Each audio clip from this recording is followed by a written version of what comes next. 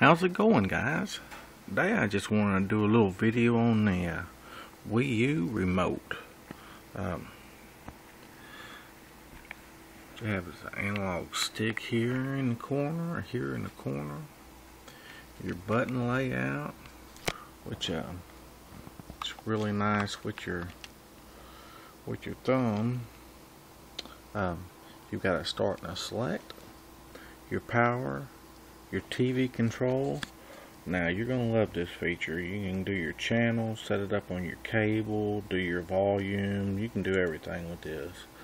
You your battery light indicator, your home, your uh, mic for talking into, uh, your speakers here, and uh, here's your D-pad and your other uh, analog stick.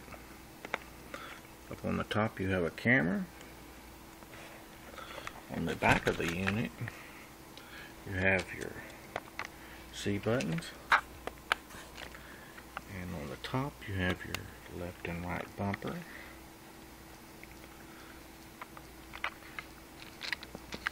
You also have a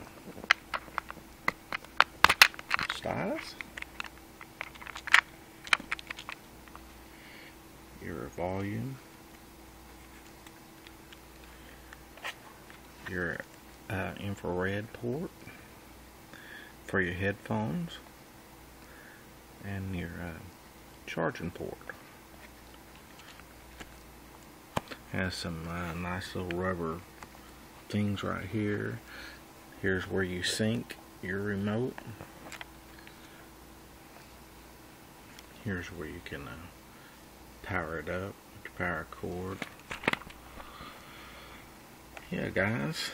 Just a little look at the uh, the Wii U. I'll do another video of it with uh, um, both hands free and uh, it'll be a little bit more thorough than trying to scroll through it with one finger. Make it look snazzy. Hope y'all enjoyed guys. Peace out from Texas